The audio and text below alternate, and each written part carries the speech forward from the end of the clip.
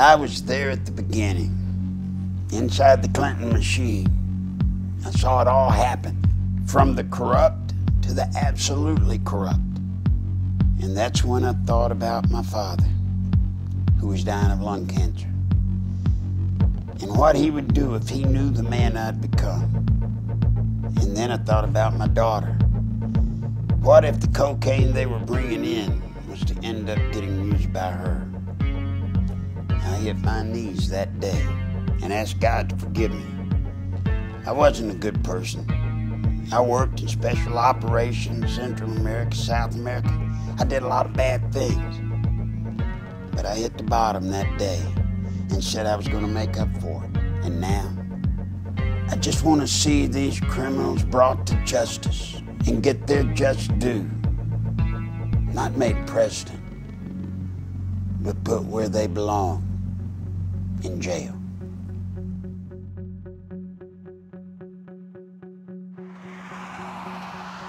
One thing about Hillary, Bill was just a good timing guy. But Hillary, she's an animal. Hillary is the one that I promise you, she pulls the strings. She pulled them in Arkansas. She pulled them in the White House when she was there as the First Lady. My God, if she gets to be president, what you see out here now is going to change. We thought it changed with Obama. There's nothing compared to what's going to happen with Hillary. And I tell you right now, I will stop Hillary.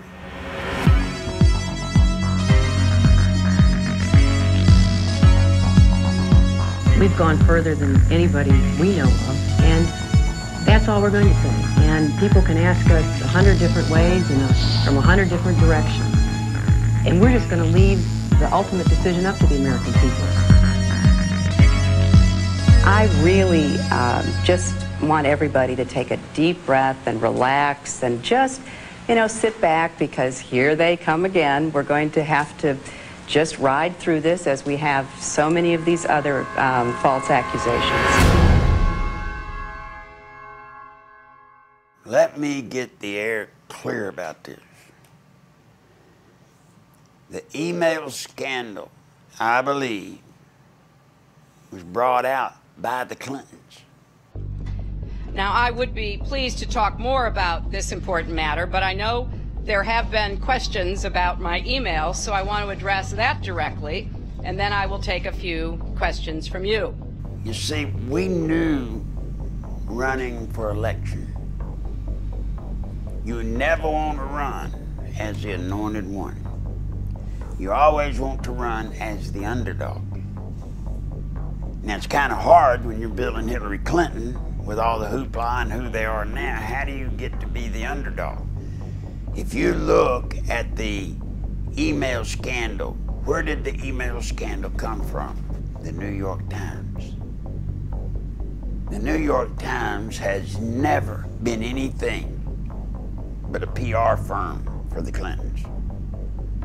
Even if they had it, there is no way the New York Times would have broke a story about Hillary that could do damage to her. But look what she's done.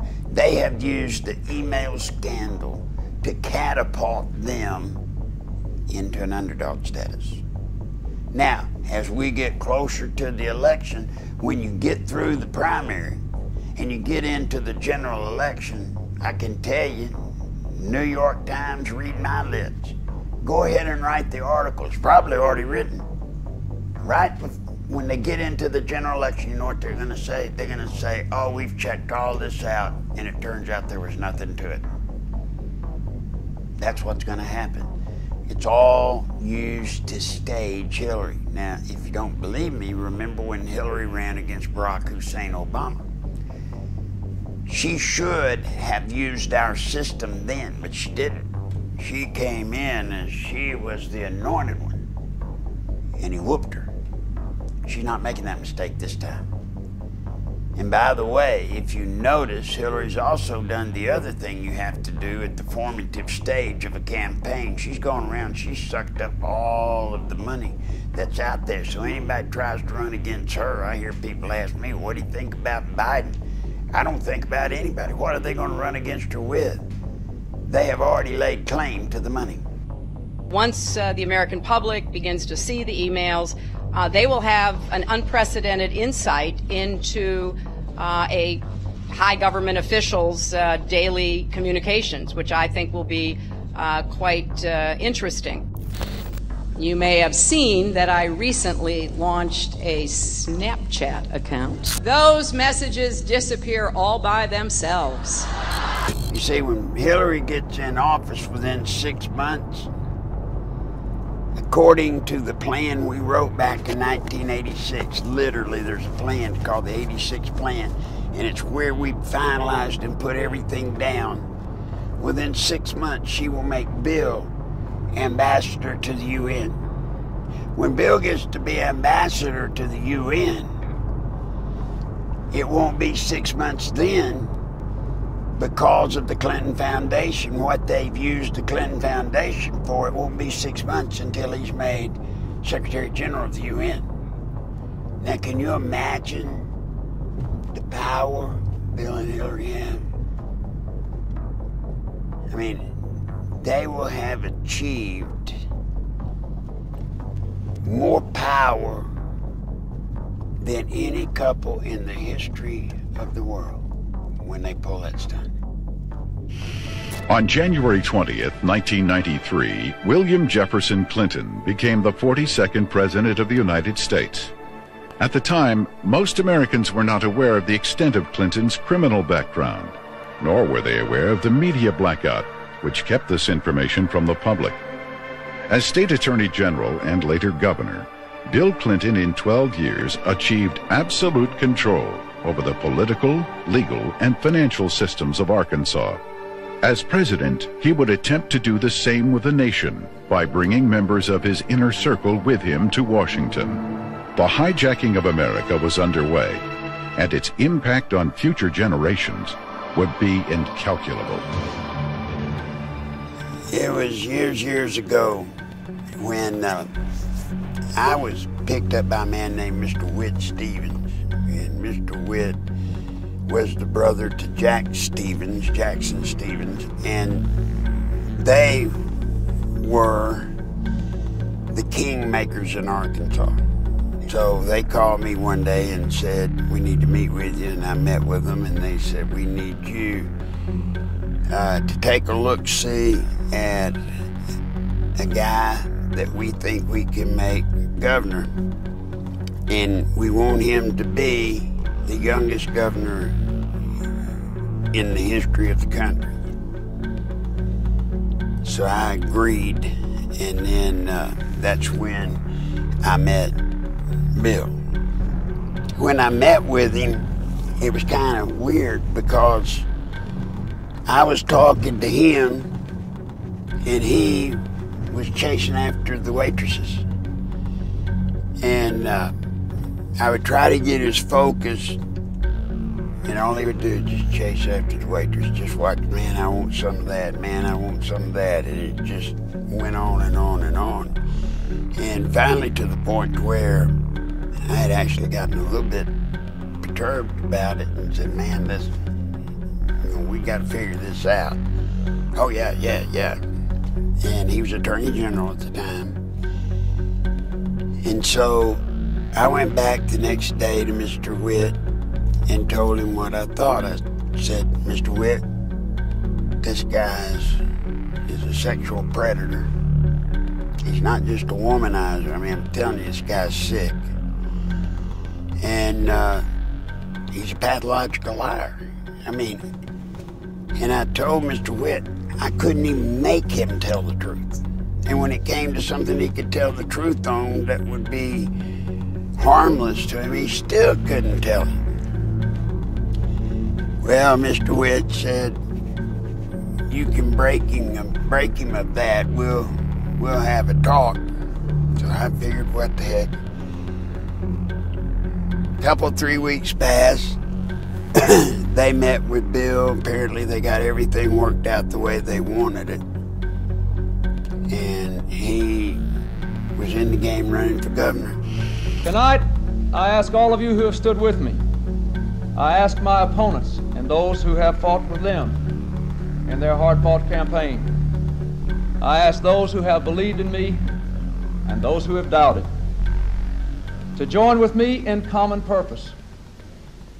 Let us put aside our fears for our hopes.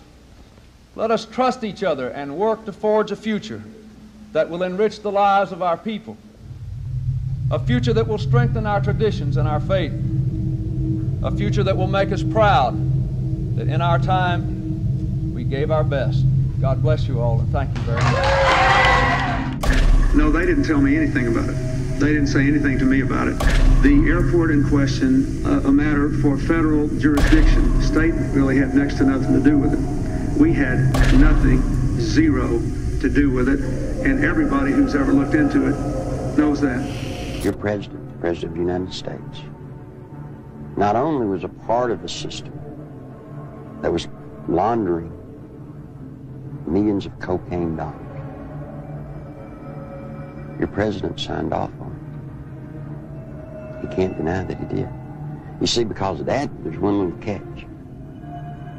Every loan that ADFA made, Bill Clinton himself had to sign off on it. More than Bill Clinton. You better identify the people in the loop of the drug running. You better identify the people in the loop for money laundering. And what you'll find there is those people go straight to Washington. Act 1062, if you look at it, it says that ADFA was developed and created to provide low-interest bond loans for churches, schools, colleges. So look what happened to our legislature. They voted on a bill creating ADFA, thinking that they were getting money to colleges and schools to buy books and so forth. What better way to run thousands of, tens of millions of dollars, launder it, clean it up, and use the cover of a state agency to do it. When Oliver North, Poindexter, and those guys got KO'd, knocked out of the box because of Iran Contra, I was asked to come down and help, and I did. I had to cut loose from there. It, it got bad. There was something happened with a little girl and her mother that I don't want to go over but it fried my brain, and it was time to quit. My family said that why didn't I get in touch with my buddy Bill Clinton and get a job with the state and get out of that racket. I called Bill, and uh, Bill said, You bet, we've got a place for you. And he brought me on to this agency called the Arkansas Development Finance Authority. Now, as much as I had had involvement with state government, I had never heard of that agency. And I was surprised to find out that its mission statement was that it would make low interest bond loans to churches, schools, libraries, which was kind of odd because it also made loans to industry. Well, the problem with that was we already had an Arkansas Industrial Development Commission and it was duplicating the work. What I found after about a couple of weeks of being there is it was strictly there for Friends of Bill. We didn't loan money to churches. We didn't make low interest bond loans to schools. We made low interest bond loans to Friends of Bill. Gennifer Flowers, in a tabloid interview for which she was paid, says she carried on a long-term affair with Governor Clinton from the late 1970s through the end of 1989. Are you prepared tonight to say that you've never had an extramarital affair? I'm not prepared tonight to say that any married couple should ever discuss that with anyone but themselves. Quapaw Towers is the uh, place where Gennifer Flowers had an apartment. Anybody in power in Arkansas knew Bill with his girlfriends and all that, but nobody would dare talk about it. I filed a lawsuit and I brought them out. I named them. One of the women was Gennifer Flowers. Well, as was the day, Clintons controlled the media here. They wouldn't touch anything. I had a big press conference on the steps of the Capitol. All the media in the state was there. I walked all the way down the hall. They got it. They videoed me walking to the hall. Go to Bill's office, throw the lawsuit across his desk. Pretty dramatic, I might say. Nobody covered it. Nobody. Eventually, every allegation stemming from Nichols' 1990 lawsuit and press conference would prove valid regarding Clinton's sexual liaisons, his drug usage, and his criminal activities relating to ADFA and Whitewater. Gradually, the women who had carried on adulterous affairs with Clinton began to emerge. Betsy Wright, Clinton's former chief of staff, admitted she had been hired to conduct media smear campaigns against anyone planning to tell the truth about the governor's sexual habits. She was prepared to go after at least 26 women who had the potential of destroying Clinton's chance at the presidency. During the 1992 presidential campaign, uh, I was getting bludgeoned by the media because Gennifer Flowers had come out of my lawsuit. A man called me on the phone on a Monday. His name was Gary Johnson. He was an attorney. He told me that he felt bad because I was being bludgeoned and he wanted to talk to me about handling my case. Well, I was craving an attorney, any attorney to help me. You know, I saw Larry out there doing battle, so to speak, on his own, and I felt like he needed some help. I met him on a Tuesday. He was a special attorney. I didn't even know it. You see, he lived next door to Gennifer Flowers. He told me that he had bought a bicycle and there was a lot of theft in and up and down the halls of, of the apartment complex. So he put a camera so he could watch his bicycle. But guess what he caught on camera? He caught Bill Clinton going in and out of Gennifer's apartment with a key.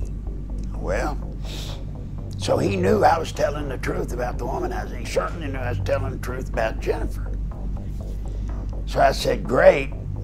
I said, you, you can get on board, but I warned him. I said, Gary, you got to be careful. He said, oh, nothing's going to happen to me. I'm not scared of him. There was a Friday that we were supposed to meet, and I called. He didn't answer. Well, I called his office all day. He didn't answer. His office hadn't heard from him. That Saturday, we went to his apartment and found him. He had been bludgeoned, he had been beat horribly, and he had literally been left for dead. What was significant about the beating he took, the licks that he took were specific. For example, they hit him in just such a way, military hand to hand, hit him in such a way that they ruptured his spleen. they did all kinds of things that would kill you. We found him, got him to the hospital, he made it. But to this day, to my knowledge, he's still just half insane. It scared him so bad that uh, for a while, I don't know if he still is, but for a while, he literally was in a mental institution. It, it scared him so bad. So that's the importance of Quapaw Towers. That's where it all began. Now, what's the story nobody really knows?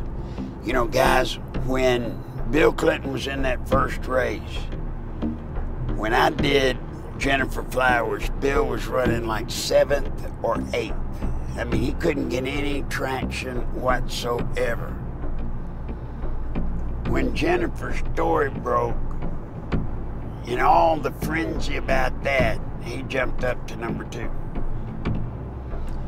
So in a way, my trying to get him backfired in my face. And instead of getting him, I elevated him.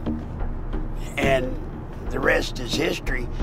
Now, remember, I got him to number two, but because of all of the womanizing stuff, people started doing what they're going to do for Hillary. You see, they're playing this right. Hillary's not saying anything about it. She's letting her numbers go down because if you're going to win, you got to run. If you're at Clinton and you want to win, you've got to run from a position of being an underdog. Because everybody loves an underdog, right? Well, how, if you're a Clinton, do you get to be an underdog when you've got somebody like Bernie Sanders running against you? I mean, it just doesn't compute, right? Socialist, I mean, there's no way. But now I think you'll understand why this Benghazi stuff was released by New York Times. Do you get it?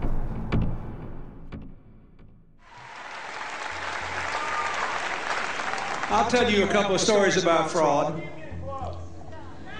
The Bohemian Club, the, as you say, the Bohemian Club, that's where all those rich Republicans go up and stand naked against redwood trees, right?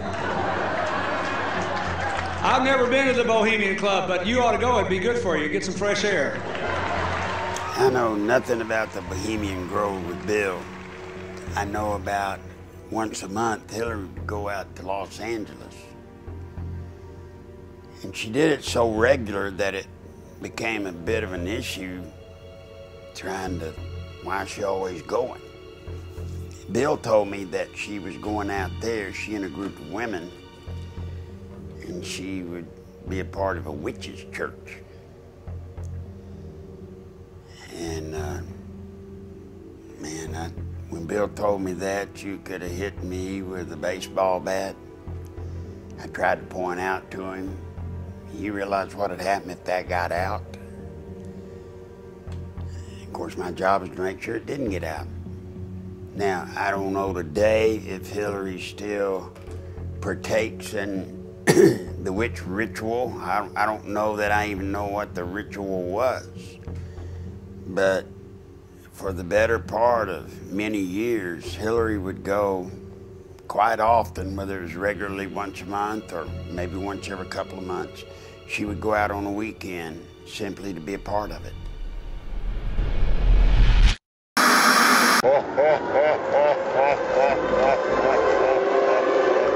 The great story here for anybody willing to find it and write about it and explain it is this vast right wing conspiracy that has been conspiring against my husband since the day he announced for president. You know, it's so sad that when something tragic happens, that people, maybe out of a desperate attempt to make sense of the world, try to create conspiracies and, you know, act paranoid and all that.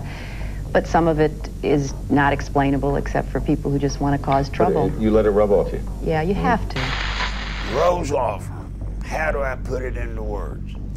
When Bill became governor, I believe the paycheck for the governor was 28000 a year. Hardly the kind of money that would get you up into the higher earning bracket. Hillary went to the Rose Law Firm. She, Webb Hubbell, Vince Foster, they went there because that gave Hillary, once again, it gave her a vehicle that she could use. By Bill being governor, Rose Law Firm being the lobbyist for all types of major industry, which Hillary would facilitate, they made a fortune. You know, Tom and uh, Bill have a lot in common. They both have wives who support them in these uh, efforts that they are engaged in, both uh, emotionally and financially, I might add. Um, the money went to Hillary, not to Bill. So when you try to check out Bill and say, well, gosh, he made a fortune when he was governor, certainly made more than 20 something thousand dollars. That's how they did it. They did it through Hillary and the Rose Law Firm. Got them everything they wanted. The people we are fighting today, we funded 20 years ago. We came, we saw, he died. I mean, genetically modified sounds Frankensteinish. Drought resistance sounds really something you want. We cannot let a minority of people, and it's that's what it is. It is a minority of people hold a viewpoint that terrorizes the majority of people. We are in an information war, and we are losing that war. It's no secret that we're going up against some pretty powerful forces that will do and spend whatever it takes to advance a very different vision for America. The best way to stop Hillary, let me tell you, there's only one way to stop Hillary. You know, it's not going to be Benghazi. it's not going to be the uh, email scandal. I don't think that'll hurt her. The information I've got that has to do with Vince Foster will carry the day in the end.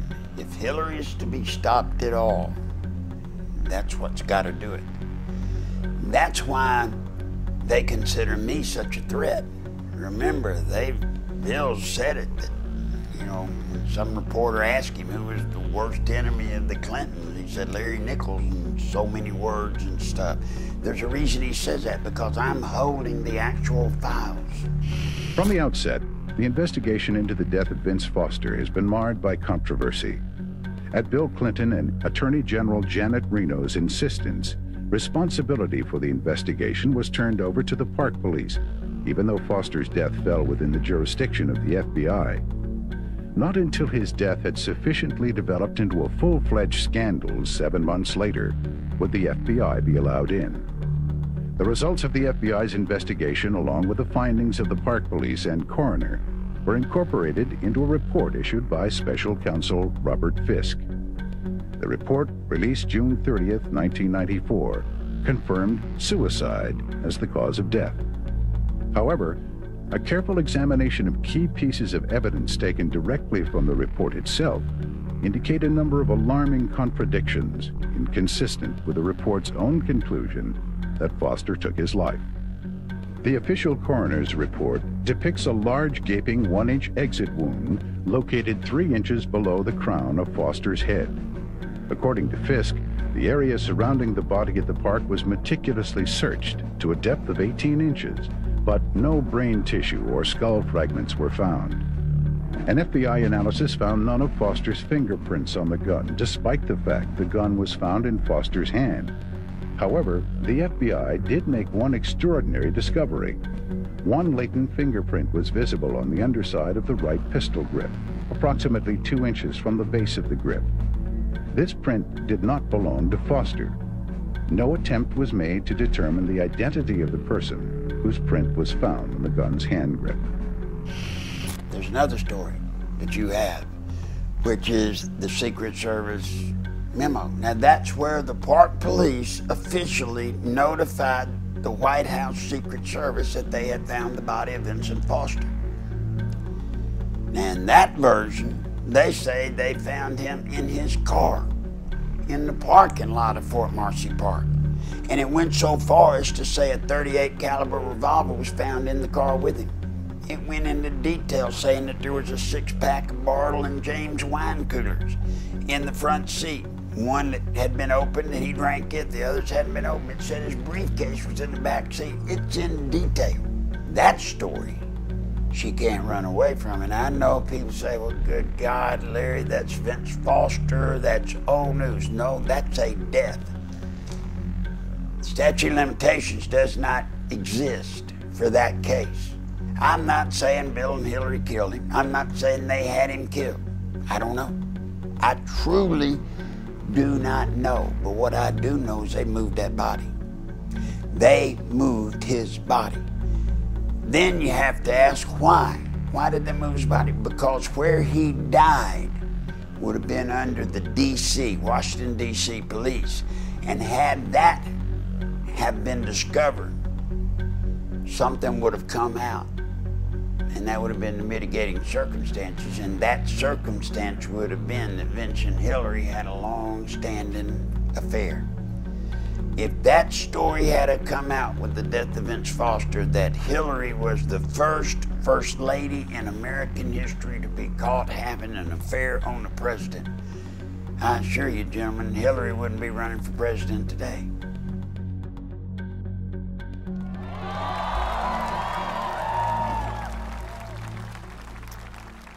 That is why I am running for President of the United States.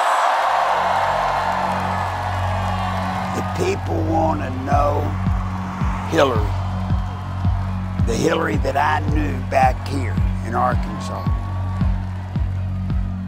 when she was in the Benghazi hearings, when she said, What difference does it make? They're dead. What difference at this point does it make? That's the Hillary I know. And that's the Hillary that we don't want to unleash on America. You know, I don't care about their little things they do. I don't care about who they sleep with, what they slept with. What I care about our country and what's going to happen to my grandbabies. So therefore, I'm bound, honor bound, as I know Alex is, to try and stop it. That's what we're going to do, one way or the other. We will stop it. You know, we're incredibly close to losing our country. Incredibly. And it's more than just Hillary. It's the Congress becoming traitors, turning us. You know, Washington is just a cesspool of traitors. That's why I have a plan that I plan to introduce. And basically, the short version of it states rights. Washington has no power at all.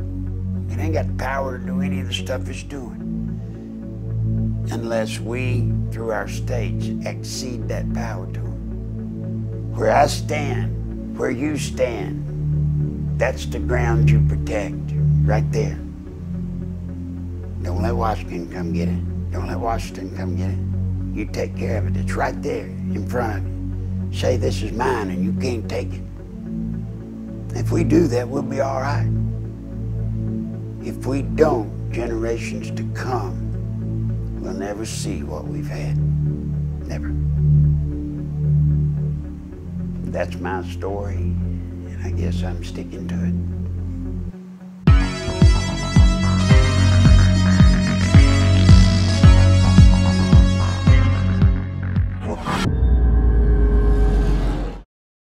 Globalists have controlled the mainstream media for a long time, but now they're expanding and making the weaponization even more vicious and deceptive. All the major networks are state-run. We are partnering this year with the NFL. The NFL has become a political weapon against the Second Amendment and pushes Obamacare. MSNBC tells us that our children belong to the state. We have to break through our kind of private idea that kids belong to their parents or kids belong to their families and recognize that kids belong to whole communities. It is more important than ever to realize that we are not the alternative media. We are the true media. The establishment dinosaur press is dying. We are in an information war, and we are losing that war. Join us at InfoWarsNews.com and PrisonPlanet.tv. Members can share their memberships with up to 11 people. By subscribing, you will literally be buying war bonds in the info war to expand our operation in the face of the tyrants. Join us at PrisonPlanet.tv.